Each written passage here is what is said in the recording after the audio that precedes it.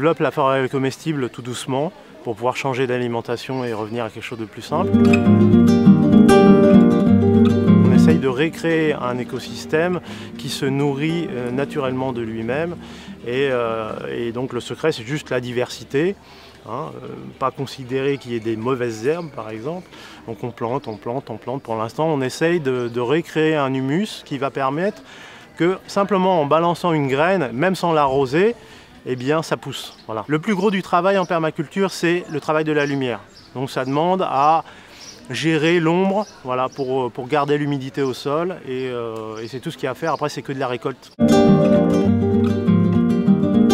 Ce que je peux faire à, mon échelle, aussi bien individuelle que communautaire, elle ne suffira pas à endiguer le désastre et les cataclysmes écologiques et sociaux à venir.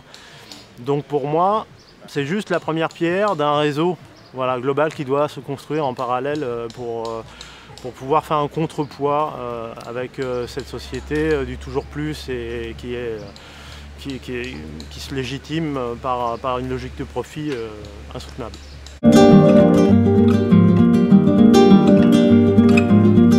Les principes de la permaculture nous enseignent de faire de la culture régénérative, à contrario avec l'agriculture qui est une culture dégénérative du sol, qui nécessite de toujours mettre plus d'intrants chimiques ou pas d'ailleurs, même biologiques, euh, dans le sol, donc, donc de l'énergie. En permaculture, on investit une calorie pour en récolter 20, alors qu'en agriculture euh, traditionnelle, on investit 15 calories pour en récolter une. Donc voilà, au niveau du travail, on avait de l'investissement, c'est sûr que ça n'a rien à voir.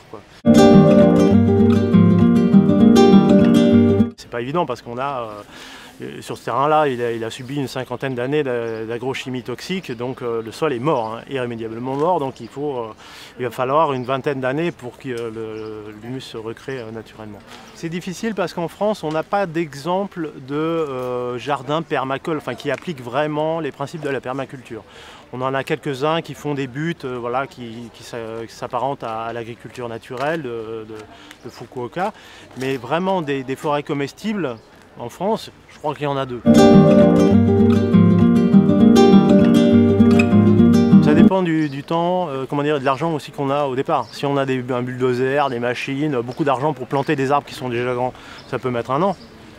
Si on n'a pas d'argent comme nous, bah, ça fait 10 ans déjà qu'on a dû attendre que les peupliers euh, soient suffisamment grands pour pouvoir planter des choses en dessous. C'est sûr que ça met plus de temps à se mettre en place, surtout dans notre région, en Provence, où c'est un peu plus difficile. Donc il euh, n'y a, pas de solution miracle évidemment. Sous les tropiques, je dirais c'est super facile.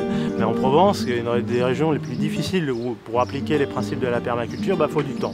Voilà, faut du temps, il faut diversifier comment dire, les plantations pour pouvoir avoir un ensemble qui s'équilibre naturellement.